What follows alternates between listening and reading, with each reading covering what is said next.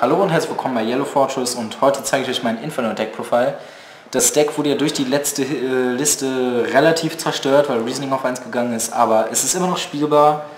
Man kann damit immer noch OTKen, aber es ist nicht mehr metafähig und es ist auch nicht mehr richtig Rogue-fähig. Es ist halt nur noch so eine Art Fun-Deck. Und ja, ich fange mal an mit zwei Unon Juice. Ähm, spiele ich auf zwei, weil ich die Fusion spiele. Außerdem ist der allgemein relativ gut. Man kann ja Abyss-Dueller machen, dann ihn und ein ganzes Cosmo-Board teilweise clearen.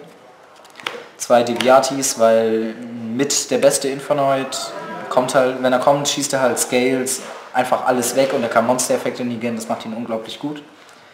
Dann spiele ich Dreier-Tondel, weil man kann mit Atondel noch auf Rang 8 gehen und er hat immer noch furchtbares OTK-Potenzial. Drei Sidezimmers, äh, rein theoretisch auf Rang 7er bin ich nicht der Fan von, aber sonst äh, banisht halt eine Karte auf dem Feld ohne zu zielen, was ziemlich gut ist. Dann 3 Pad, um Spell and Traps zu schießen und auf Rang 4 zu gehen oder Synchros zu machen. Dann spiele ich immer noch 3 Hamadik, um Monster zu schießen und mit Dekatron einen Vierer zu bekommen. Zwei Antra, um Sachen zu bouncen um, oder halt ein bisschen zu deffen, weil er halt 2000 hat.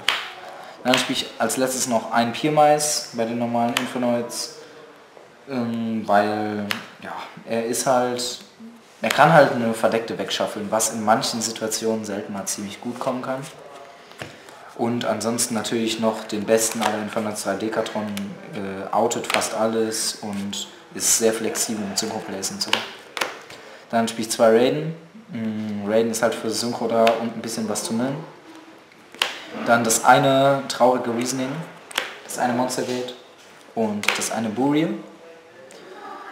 Äh, das eine One for One noch und ansonsten spiele ich zwei Void Imagination, zwei Charge of the Light Brigade, zwei Instant Fusion, um auf Synchro Plays zu gehen oder um auf Rang 4 Plays zu gehen. Dann spiele ich äh, drei MST. Ich spiele MSTs, weil ich habe vorher Twin Twister gespielt. Twin Twister ist auch eigentlich viel besser in dem Deck, weil Discarden macht halt kein Minus wegen den großen, die kann man alle aus dem Grave holen. Ich denke, ich werde auch bald wieder auf Twin Twister umsteigen, weil Twin Twister einfach viel besser als MST ist. Aber in der Version, wegen der Karte, die gleich noch kommt, will ich halt keine Karten so viel discarden und will eigentlich nur die wichtigsten Sachen wegschießen. Aber ich denke, ich werde trotzdem wieder auf Twin Twister umsteigen, weil sie einfach besser ist. Also können, können da sind das wahrscheinlich eher so drei Twin Twister.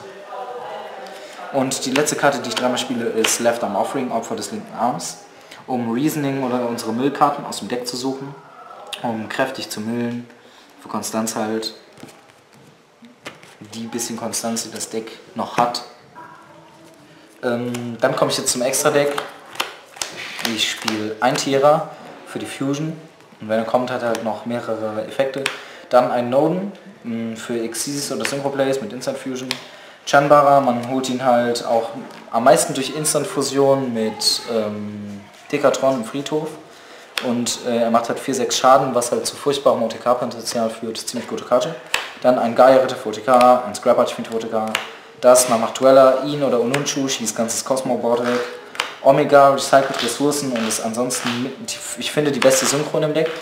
Trishula, wenn er kommt, kommt er teilweise für Game, beziehungsweise macht halt, richtet halt Schaden am Feld an und zerstört die Hand des Gegners.